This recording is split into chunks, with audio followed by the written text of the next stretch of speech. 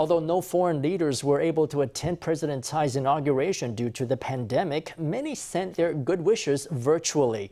The leaders of Taiwan's diplomatic allies congratulated Tsai in a video that was broadcast during the inauguration ceremony. U.S. Secretary of State Mike Pompeo made a statement on social media congratulating Tsai on her second term. Pompeo said that under Tsai's leadership, Taiwan and the U.S. would continue to grow closer in the years ahead.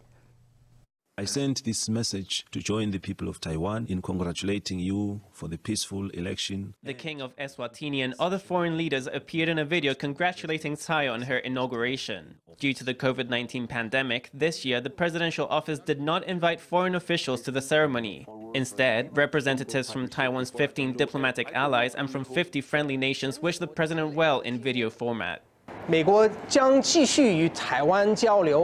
continue to press other countries and organizations like the WHO to put human lives above politics and to choose freedom over repression. The coronavirus pandemic has put Taiwan in the global limelight, with international support for Taiwan at an all-time high. U.S. Secretary of State Pompeo issued a press statement congratulating Tsai on the commencement of her second term as Taiwan's president. 庞培欧国务卿指出 ，Secretary of State Mike Pompeo says Taiwan and the U.S. have a shared vision for the Indo Pacific region. He reaffirmed that Taiwan's pandemic response model was worthy of emulation for the international community. Lastly, he remarks that with President Tsai at the helm, the U.S.'s partnership with Taiwan will continue to flourish.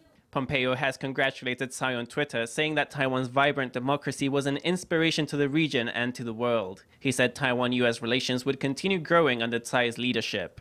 President Tsai responded to Pompeo thanking him for his good wishes. She wrote, The Taiwan US partnership is strong and full of promise. I look forward to furthering our friendship based on our many shared values and interests. Over at the Taipei guest house, Tsai received officials from foreign representative offices in Taiwan. No hands were shaking at the event in compliance with social distancing, but it was still a warm gathering of friends.